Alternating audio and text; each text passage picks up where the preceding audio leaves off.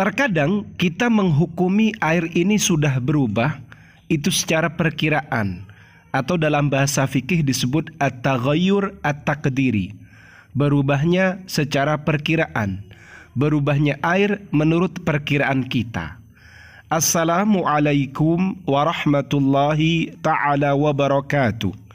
Bismillahirrahmanirrahim. Alhamdulillahi rabbil alamin. Allahumma salli ala Sayyidina Muhammad. Pada kesempatan kali ini kita akan melanjutkan ngaji kitab At-Taqriratus Sadidah fil Masailil Mufidah.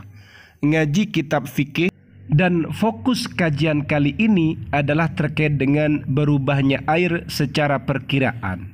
Seperti apa itu? Mari kita simak kajian berikut ini. Bismillahirrahmanirrahim. At-taghayyuru at-taqdiriyu. Berubahnya air secara perkiraan. Ta'rifuhu adapun definisi dari at-taghayyur at-taqdiri Berubahnya air secara perkiraan Huwa adalah adapun definisinya An-nahkuma binajasatil ma'i au taharatihi takdiran yaitu kita menghukumi najisnya air atau sucinya air secara perkiraan. Wa ingkanat sifatuhu sifatil ma'i. Meskipun keberadaan at-taghayyur at-takdiri itu adalah sifat-sifatnya air. Walahu halatani. Dalam hal ini ada dua kondisi. Al-ula kondisi yang pertama Tarotan kadangkala ia kau menimpa filmai ke dalam air najasatun najis. Muafiqatun yang mencocoki lahu pada air fi sifatihi pada beberapa sifatnya air. Kadangkala air itu kemasukan najis. Dan najisnya ini mencocoki pada air dari sisi sifat-sifatnya. Contoh, kabaulin seperti kencing mungkoti irro'ihah kencing yang baunya sudah terputus. Baunya sudah hilang. Dalam hal ini, kencing yang sudah hilang baunya, ia secara sifat mencocoki pada beberapa sifatnya air. Terus bagaimana kita memastikan air ini najis atau suci? Fayuqaddaru maka dikira-kirakan. Ala hasabi sifatin najasati sesuai pada sifat-sifatnya najis al-mukhalifati yang membedai lil ma'i pada air fi sifatihi dalam beberapa sifatnya. Bi asyaddis sifati dengan paling dahsyatnya sifat. Kalau nil habri seperti warnanya tinta. Aurihil miski atau baunya minyak misik. Au ta'mil khalli atau rasanya cuka.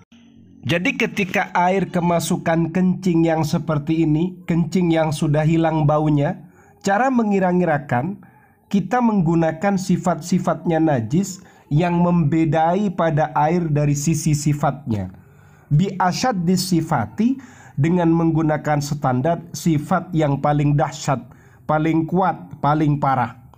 Contoh, kita menggunakan standarnya warnanya tinta. Nah, misalnya kemasukan tinta gimana ini? Atau rihil miski kalau misalnya kemasukan misik gimana baunya ini?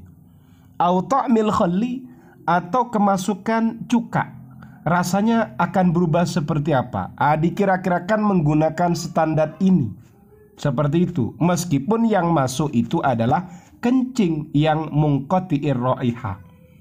Fa intaghayyara takdiran jika air ini dengan menggunakan standar yang paling kuat ini akan berubah secara perkiraan, bisifatim minha dengan menggunakan sifat dari sekian sifat yang paling kuat tadi fanahkumu binajasatil ma'i maka kita akan menghukumi kalau air ini najis. Wahadat takdiru perkiraan ini layakunu tidak terjadi illa filma il kathiri kecuali jika masuk pada air yang banyak. Wahuwa wajibun dan mengira-ngirakan seperti ini ini hukumnya wajib. Paham ya? Untuk kondisi yang kedua kita akan mengkaji pada pertemuan berikutnya insya Allah. Semoga bermanfaat. Amin ya rabbal alamin. Wallahu a'lam bisawab.